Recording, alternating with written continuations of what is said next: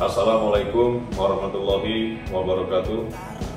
Saya Kolonel Penerbang TK Budiarsa, Komandan Lanut Suwondo, beserta seluruh warga Lanut Suwondo mengucapkan selamat ulang tahun kepada yang terhormat Kepala Staf TNI Angkatan Udara, Marsikal TNI Fajar Prasetyo SE MPP.